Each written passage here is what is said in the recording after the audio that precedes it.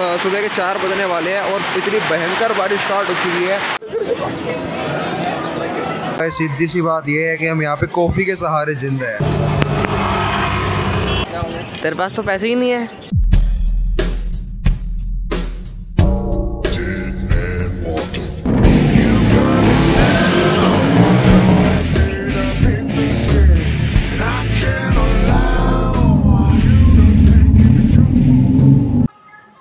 तो hey guys welcome back to my channel और आज है सिक्स ऑफ़ नवंबर हम जम्मू एंड कश्मीर आ चुके हैं. वाई बिकॉज़ हम माता के दर्शन करने आए हैं. सो जय माता दी टू एवरीवन थोड़े से विजुअल्स जो हमने रास्ते से आते हुए कैप्चर किए.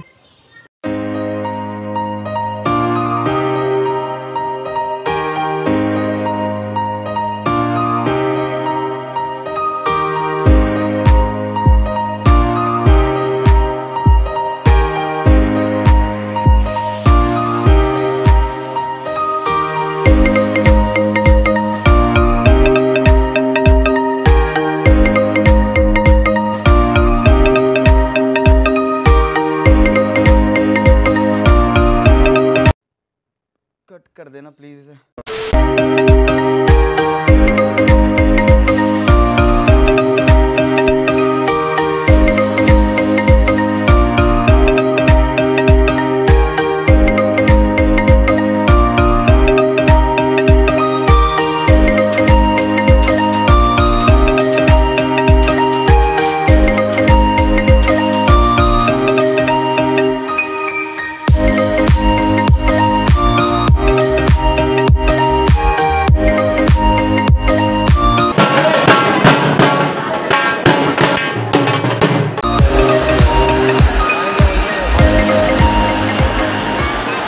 एक्चुअली इस बार हमने किया क्या? जो बाण गंगा पे ना एक दूसरा रास्ता सेपरेट होता है, वो अर्धकुआरी का ही रास्ता है न्यू रास्ता है।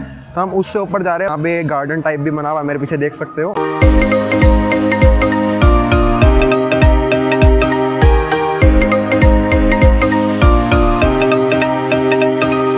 थोड़ी सी दूर वहाँ पे लंगर भवन भी है।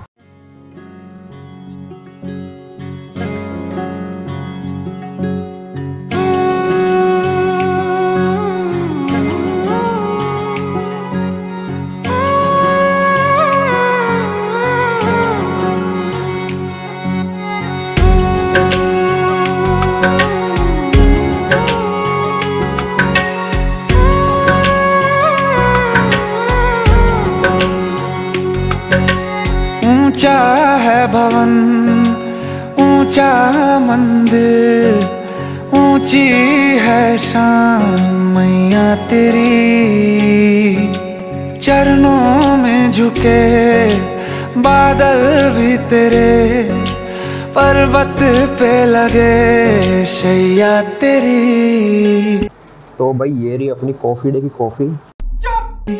हे काल रात्रि है कल्याणी तेरा जोड़ धरा पर कोई नहीं मेरी माँ के बराबर कोई नहीं।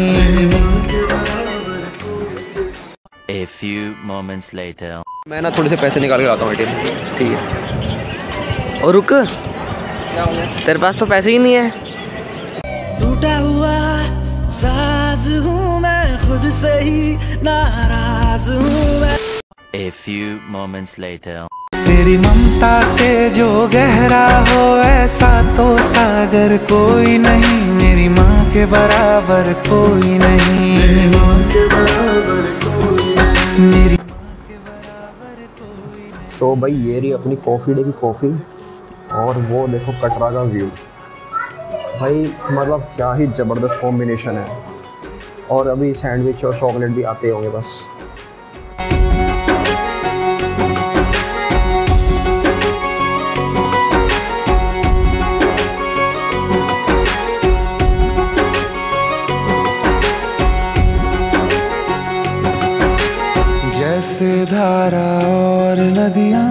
जैसे फूल और बगिया, मेरे इतना ज़्यादा पास है तू। जब न होगा तेरा चल न मेरे होंगे जल थल। जाएँगे कहाँ फिर मेरे आँसू? दुख दूर हुआ मेरा सारा, अंधियारों में चमका तारा नाम तेरा जब भी है पुकारा। सूरज भी यहाँ है, चंदा भी तेरे जैसा उजागर कोई नहीं। मेरी माँ के बराबर कोई नहीं। तो गाइस लास्ट ईयर यहाँ पे सीन हो गया था। एक्चुअली निखिल ने एक मॉन्स्टर ड्रिंक ली थी। इसी, ये एग्जैक्ट स्पॉट था। और इस स्पॉट से ना मतलब यहाँ मंकीज घूमते रहते हैं तो बस बैग से निकाल के रखी थी दो सेकंड बैग की जिप क्लोज करने लगा था और मंकी उठा के ले गया था। एग्जैक्ट ये स्पॉट था। A few inches later. तो मीन भवन सिर्फ़ एक किलोमीटर है इस पॉइंट से आई थिंक वहाँ पर जो दूर लाइट्स वगैरह जल रही है इकट्ठी कई सारी वही भवन है। क्या बताऊँ तेरी माया जब कभी मैं लड़ खड़ाया तूने दस भुजाओं से संभाला। खिल जाती है सूखी डाली भर जाती है झोली खाली। तो अभी सीन ऐसा है कि भूख लग रही है बहुत और पीछे यहाँ पे मार्केट है सागर रत्न वगैरह सब कुछ है यहाँ पे तो इधर चलते हैं और कुछ खाते हैं। तेरी ही मेहर है मेहर वाली। ममता से तेरी बढ़ के मैया मेरी। तो धरोहर कोई नहीं मेरी माँ के बराबर कोई नहीं A few inches later.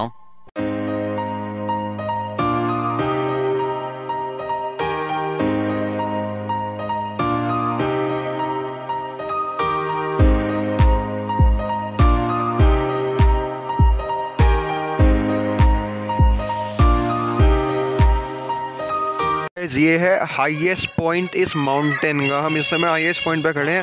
Bhairav का जो मंदिर है, वो वैसे सबसे हाईएस्ट है, लेकिन उससे भी थोड़ा सा ऊपर ये है। तो भाई थोड़ा सा बनता था कि ब्लॉग में दिखाएँ। अभी चलते हैं, यहाँ से ढलान शुरू हो गई है। यहाँ से अब चढ़ाई का कुछ सीन नहीं होएगा, बस उतरना ही उतरना है। तो let's go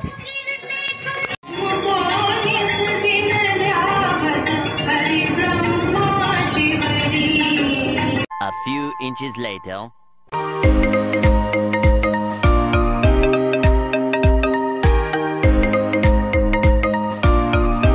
भाई, रात का मौसम सुबह के चार बजने वाले हैं और इतनी भयंकर बारिश स्टार्ट हो चुकी है। आप वॉइस सुन सकते हो। मैं दो सेकंड के लिए चुप हो रहा हूँ।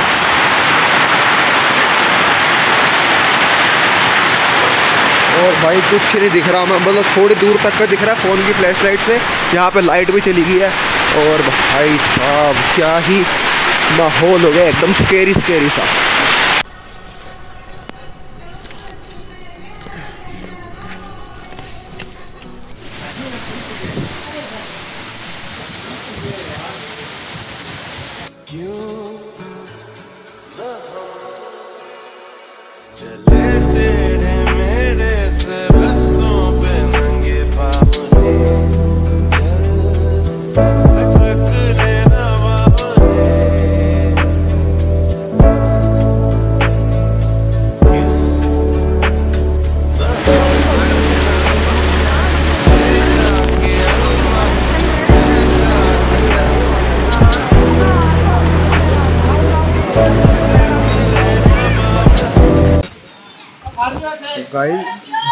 तो पहर का एक बज रखा है और यहाँ मौसम ख़राब होने की वजह से एकदम ऐसा लग रहा है जैसे डार्क मतलब रात होने वाली है।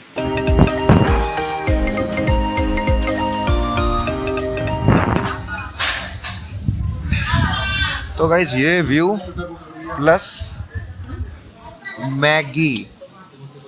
भाई, किसको नहीं चाहिए ये? बताओ मुझे, किसको नहीं चाहिए? इसके लिए यार एक लाइक तो बनता है, एक लाइक तो मैगी खाने के बाद फिर से मार्केट में एंट्री हो चुकी है। चलते हैं। बहुत संभल संभल के।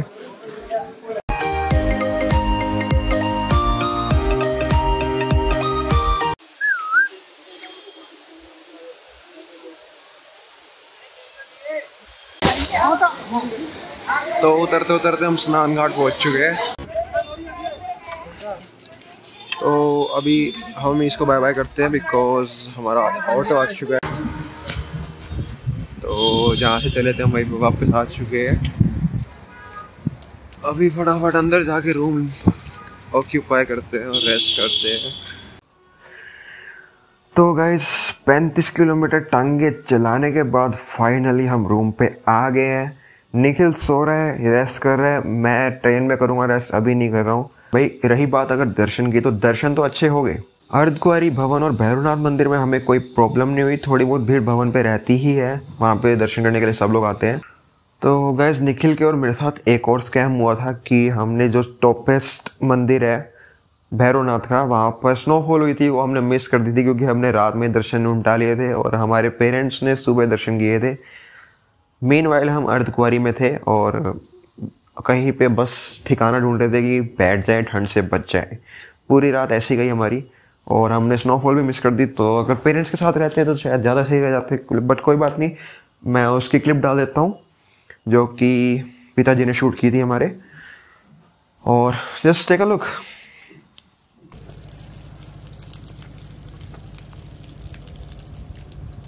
और गाइज़ माता वैष्णो देवी के दर्शन करने के बाद ये मिलता है। इसमें प्रसाद होता है। और इसमें खजाना, खजाने के नाम पे इसमें एक सिल्वर का कॉइन होता है और इसमें मिश्री होती है। लेट मी शो यू तो गाइज़ सबसे पहले तो खजाना खोलते हैं, खजाने में से निकलता है ये कॉइन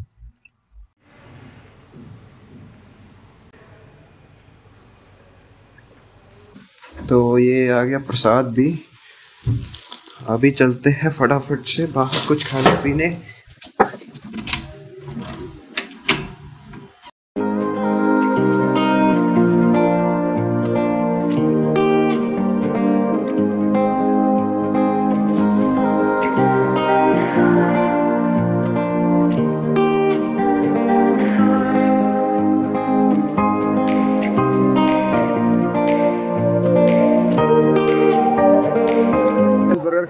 हम दोनों ने मिल्स खाई और मज़ा आया। उसके बाद अभी हम आ चुके हैं कटरा की मार्केट, जो कटरा मेन टाउन की मार्केट है टेक लुक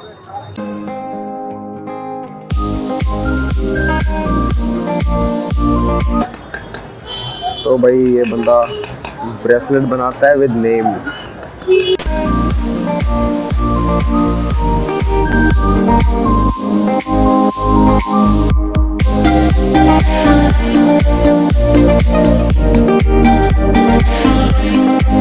गए हम बर्गर किंग से तो वापस आ चुके हैं और वो जो कस्टमाइज्ड ब्रेसलेट्स हैं हमने वो भी परचेज कर लिए। अभी हॉल में ये रेस्टोरेंट है। तो ये हमारी वेज वेज जलफ्रेजी वाली सब्ज़ी आ चुकी है प्लस प्लेन रोटी और यही सब है, अचार है साथ में। तो खाना शुरू करते हैं। Five minutes later.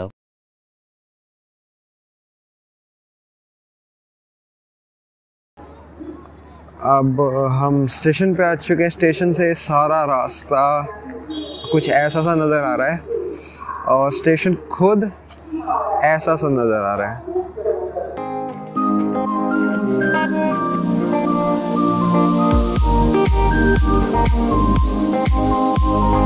तो गाइस हमारी ट्रेन प्लेटफॉर्म पे लग चुकी है। Now it's time to go back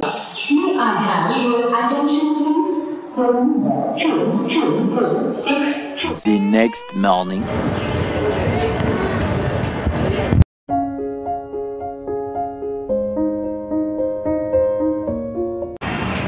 Five minutes later.